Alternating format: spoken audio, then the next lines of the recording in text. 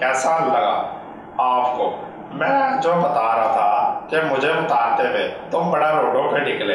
कभी उधर जा, कभी इधर भाग। पूरा पाकिस्तान पे तुमने लोग मार्च किए। आप कैसा लग रहा है वज़ीर आज़म हाउस से निकल के जब मैं निकला था चिंची रक्षा करा के अपने घर गया था। कमांडो खुश हुआ।